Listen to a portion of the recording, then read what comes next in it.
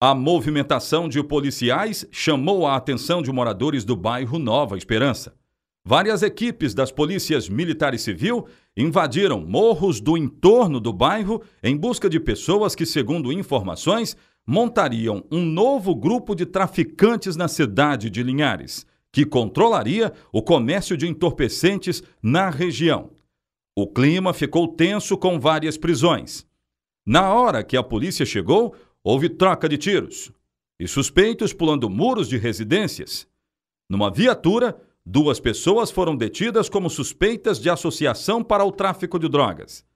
Ulisses Costa, o Lizinho, foi encontrado em uma das residências do Nova Esperança e, de acordo com a polícia, seria o mentor do grupo que assumiria o controle do tráfico. Entre os presos, três acusados eram moradores da Grande Vitória.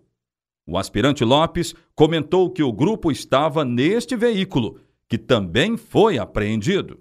A operação da polícia ela tem um foco aí no combate ao tráfico de drogas e é um velho conhecido nosso que a gente já estava de olho junto com a Polícia Civil, é o cidadão aí vulgo Nissim, Ulisses.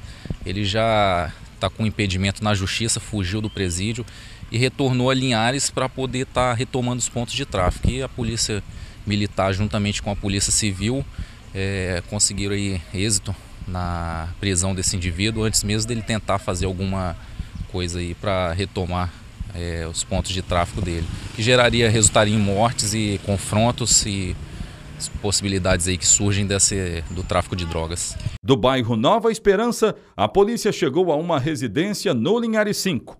Um dos comparsas de Ulisses foi preso. Ele estava em uma casa quando recebeu voz de prisão.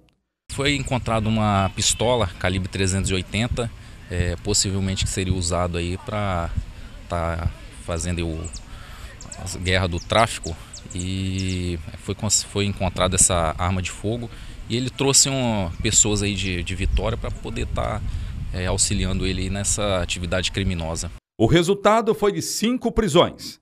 Para o delegado-chefe da 16ª Delegacia Regional, as prisões foram importantes para evitar novos confrontos entre grupos rivais do tráfico de drogas.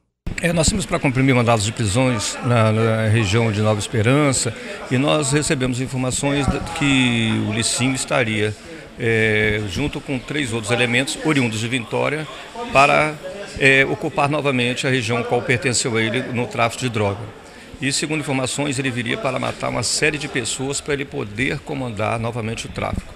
Então, como nós temos um bom contato com a Polícia Militar, né, mais uma vez mostramos a união das forças policiais, montamos o cerco e conseguimos localizá-los, aprender a arma, prender eles com documento falso e agora nós vamos passar a ouvi-los para ver se realmente chega com as informações que nós obtivemos que era a tomada da área. Dos cinco presos, Três foram liberados na manhã desta quinta-feira. Mas Ulisses de Araújo Costa e Edivaldo Gomes da Silva tinham mandado de prisão em aberto e vão ser levados para o presídio de Aracruz. Um dia depois da prisão dos envolvidos, todos eles foram mantidos na 16ª Delegacia Regional de Linhares.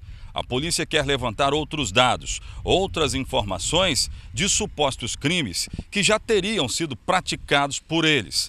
Mas a operação de ontem foi considerada de resultado muito satisfatório para as polícias militar e civil de Linhares.